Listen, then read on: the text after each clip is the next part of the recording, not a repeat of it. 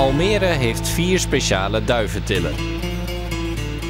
Ze worden gebruikt om de overlast in de winkelstraten te beperken. Willem Jansen, vrijwilliger bij de stadsreiniging, verzorgt de duiven. Dat is dan zo'n beruchte kropper. Dat is dan een, uh, een sierduif. Kijk. Het beruchte mannetje wat dus uh, de andere duiven de til inlokt. En zo wordt de duiventil één grote duivenhangplek en verdwijnt de overlast uit de winkelstraten. Ja, jongen, lopen de hele dag te koeren, vliegen de hele dag rond en hangen de macho uit van hier ben ik. En met, die, uh, met deze duiven komen de andere duiven weer uh, de til in. En die, die vrouwtjes trappen daar ook in? Allemaal. Echt waar? Allemaal. ja. Maar ja, mannetje en vrouwtje bij elkaar, dan doet de natuur haar werk. Uh, we moeten wel het balletje bij het schuurtje laten. We kunnen niet zeggen, uh, we, we, laten alle eieren uitkomen. Uh, als er eieren liggen, kijken we het aan van welke duiven het zijn. Van deze duiven is het niet zo erg, hè, want die gaan niet van spreken overal heen denderen. Maar de verwilderde postduiven en dat soort dingen, daar worden eieren gewoon van geschud.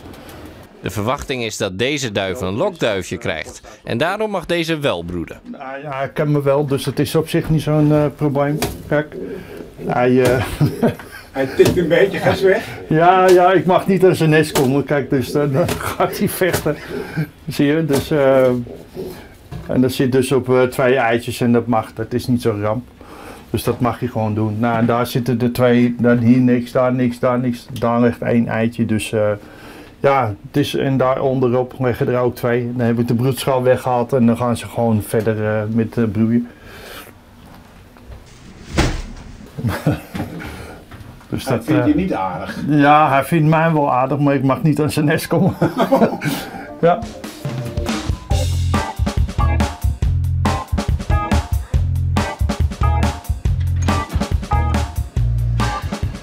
De mensen die brengen het hier op het uh, recyclingperron. Uh, wij doen het in deze bakken, wij brengen het naar achter toe en wij zullen het verwerken achter de schermen.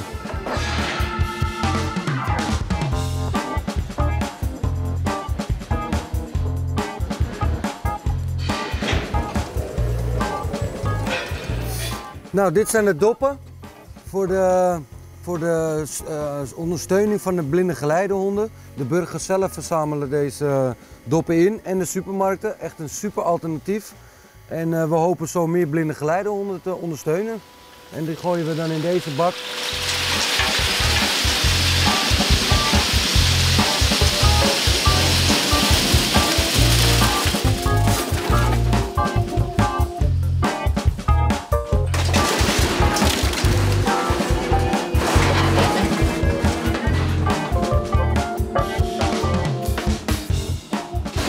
Hier hebben we de kledingbak.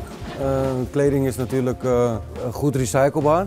We proberen zoveel mogelijk in te zamelen voor uh, goede doelen. En om, om zoveel mogelijk te recyclen. Oude vorden worden weer proberen, wordt geprobeerd om nieuwe kleding van te maken. En al het bruikbare kleding wordt verscheept naar kansarme landen. Goeiedag.